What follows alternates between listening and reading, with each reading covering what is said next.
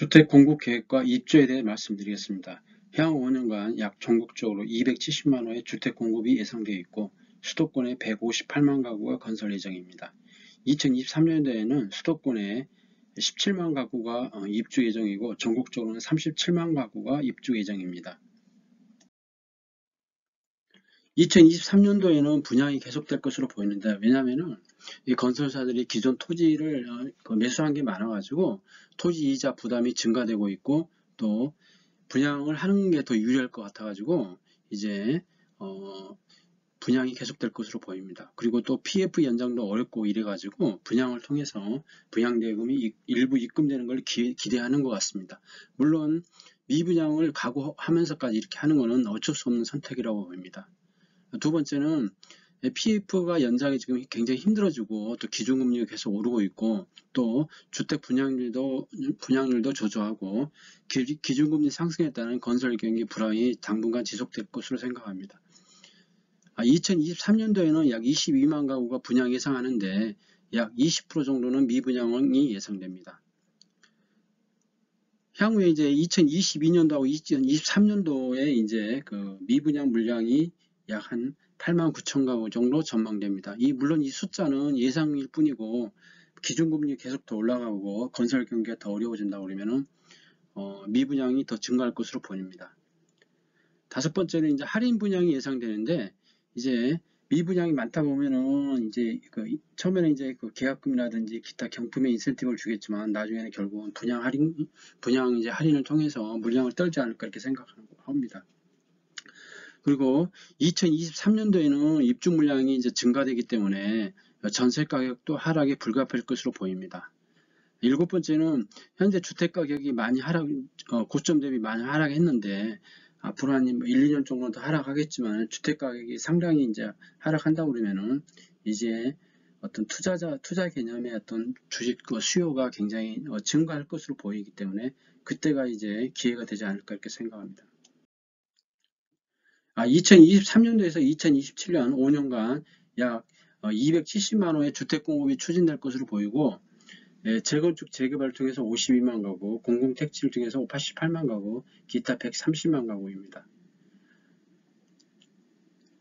그리고 2020년 하반기, 하반기부터 2024년 상반기까지 약 2년간 수도권 입주 물량은 약 41만 가구가 예상되어 있고 특히 서울에는 7만 4,200가구가 입주 예정인데 주로 강남권에 상당한 물량이 공급될 것으로 보입니다.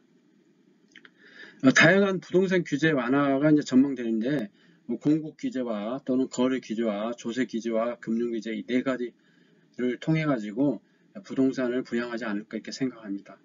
이제 향후에 이제 부동산의 상승 요인으로서는 인플레이션과 대출 규제 완화, 재건축 규제 완화 등이 있고 부동산 하락인으로서는 금리 인상, 대출 규제 강화, 경기 침체 지속이 있지 않을까 이렇게 생각합니다.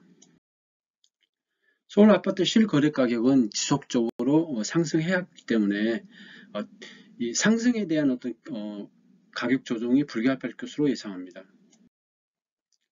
아, 지역별 5년 동안 이제 공급 계획을 보면은 전국적으로 270만 가구 예상되어 있는데 수도권에 158만 가구, 비수도권에 112만 가구, 서울에 50만 가구가 예상되어 있습니다. 그리고 이제 사업 유형별로 보면은 어, 재개발이나 재건축이나 도심 복합 사업을 통해서 52만 가구, 공공 택지, 택지 등 신도시 개발을 통해서 88만 가구가 예상되어 있습니다. 그리고 2023년도에는 아파트가 전국적으로 34만 가구, 수도권에 17만 가구가 예상되어 있습니다. 3기 신도시를 보면은 이제 고향 창릉이라든지 인천 계양, 부천 대장, 안산 장산, 남양주 왕숙, 하남 교산 등이 있고 과천에도 있습니다. 여기는 이제 과거에 이제 울, 울산, 저기 일산이라든지 분당이 되어가지고 서울에서 각받고 또 그린벨트 내에 있다는 서울시에 근접해 있다는 어떤 특징이 있습니다. 역대 정부의 얼평군 아파트 인허가 물량을 보시고 계십니다. 서울 아파트가 2023년도, 2024년도는 증가하겠지만은 2026년도부터는 물량이 굉장히 적을 걸로 생각합니다. 왜냐하면 현재 이제 인허가 물량도 굉장히 적고 그 다음에 이제 어, 주택 분양도 어, 분양률도 저조하고 또 주택 건설이 미진하기 때문에 향후에도 어, 문제가 있을 것으로 생각합니다. 서울 아파트 입주 계획을 보시겠습니다.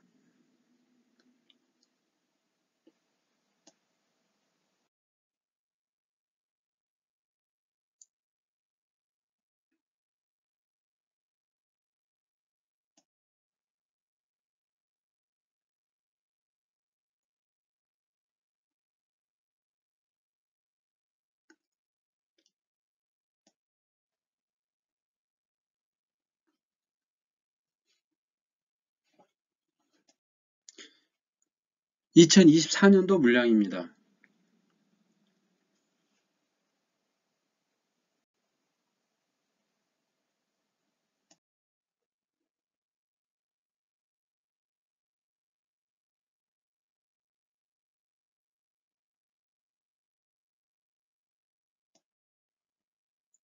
(2025년도) 물량인데 특히 이제 이번에 어, 분양을 한 올림픽 파크 포레원 서울 둔촌 아파트가 12,032세대 대규모 어, 입주가 예상되는데 2025년 1월 달에 예상되어 있습니다. 그리고 이번에 같이 이렇게 분양을 한 장희동의 어, 자이 아파트도 2025년 3월에 입주 예정입니다. 2022년 하반기부터 2024년 상반기까지 약 2년 정도 해가지고 어, 아파트 이제 어, 예상되어 있는데 예, 수도권에 약 41만 가구, 41만 가구가 예상, 어, 입주 예정이고 서울에 7만 4,200 가구가 어, 입주 예정입니다. 서울, 경기, 인천 수도권 아파트에 보면은 입주 물량이 아, 이게 2023년도, 2024년도에 적지 않은 물량이 공급될 것으로 보입니다. 미분양이 최근에 어떤 주택경기 하락에 맞춰가지고 굉장히 증가하고 있습니다. 서울 강남구 아파트가 이제 2023년도하고 2024년도에 근래 보지 않게 굉장히 6천 가구 이상 대규모로 공급될 것으로 보입니다. 주택가격 추종 어, 보시면은 이제 어, 주택가격이 이제 상승을 계속 했었죠.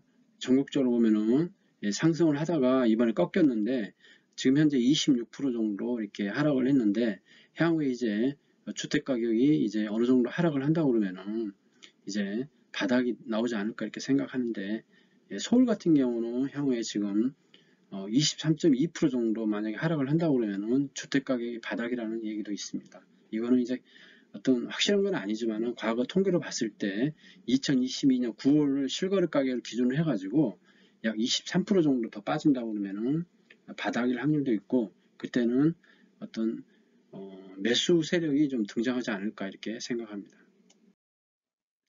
서울 아파트 가격과 거래량 변화를 보면은 이제 과거에 보면은 이제 주택 가격이 굉장히 이제 하락 시기였던 2010년, 2011년도 이렇게 있었는데 2012년도에 주택 가격이 많이 하락하니까 거래가 많이 증가했고 그러고 나서 한 1, 2년 있다가 주택 가격이 이제 어, 턴을 했죠. 그래가지고 상승 턴을 했습니다. 서울 주택 구입 부담 지수가 이게 계속 증가를 했는데 최근에 이제 많이 꺾인 상태죠. 한국과 미국의 금리는 이제 현재 격차가 0.75 정도 되는데 어, 미국이 이제 마지막 금리가 12월 14일 날 결정되어 있고 한국은 아마 내년 초쯤 될 것 같은데 아, 금리를 아마 두세 번 정도는 더 음, 인상하지 않을까 이렇게 생각합니다. 역대 정권별 부동산 가격과 정책 방향을 보면은 이제 규제 완화와 규제 강화 이렇게 완화와 규제를 강화 쪽으로 계속 반복해 와 있는데 이번 정부에서는 규제 완화 속에서 이렇게 어, 부동산을 이제 규제 완화 쪽에 초점을 맞출 것으로 보지만은 워낙 기준금리가 많이 오르고 경기 침체 때문에 부동산이 한 2, 3년 정도는 어, 가격 하락과 그리고 이제 기간 조정이 예상됩니다. 그리고 이제 그 부동산이 이제 어려, 어려운 시기이기 때문에 이제 공급 규제 완화와 또 조세 규제 완화와 거래 규제 완화와 어, 금융 규제를 통해서 규조의 어, 완화 쪽에 아마 방점이 찍히지 않을까 이렇게 생각합니다.